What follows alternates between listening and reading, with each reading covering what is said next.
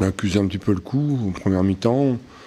On s'est euh, été beaucoup plus entreprenant, beaucoup plus agressif en seconde mi-temps et je pense qu'on peut, on, peut marquer un but, on peut revenir au score et, euh, avec un petit but, je pense que je pense qu'on euh, aurait pu les mettre en difficulté. Maintenant, après, il y a plus de, sur l'ensemble du match, ils ont plus de maîtrise, ils ont créé plus d'occasions, donc